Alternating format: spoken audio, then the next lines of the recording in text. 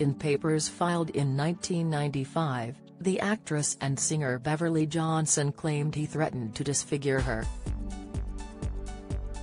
The details re-emerged after Noth, 67, was accused this week of sexual assault by two women in The Hollywood Reporter. Details of the court documents were revealed in the National Enquirer when they were filed.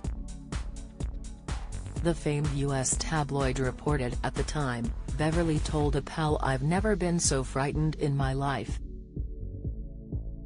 I just can't believe that someone who had once been so tender and sweet could turn into this raging wild man. The model, now 69, also reportedly tried to get a restraining order against Noth, who was starring as Detective Mike Logan on Law & Order at the time. He strongly denied the accusations made against him by the model. No criminal charges were ever filed against Noth. A posting of the original article on Instagram has gone viral since in the States. It comes as a third woman came forward to point the finger this week. Former Law and Order guest actress Zoe Lister-Jones said she witnessed Noth acting wrongly towards females and herself calling him a sexual predator. He has categorically denied any wrongdoing. Noth played Mr. Big in Sex and the City although the character was killed off in the show's reboot and just like that. Released last week. Writing on Instagram, Ms. Lister-Jones, 39, said, The man is a sexual predator.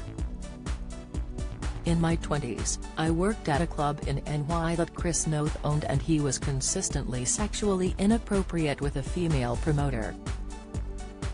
That same year I was a guest star on Law & Order.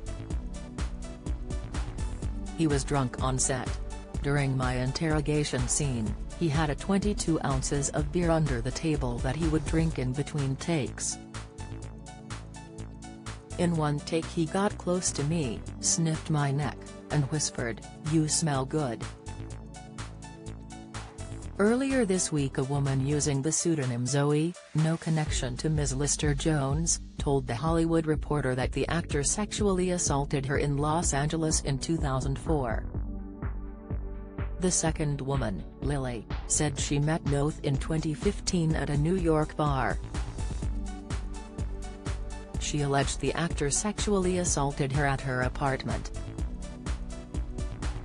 Noth has denied the allegations and claimed the encounters were consensual.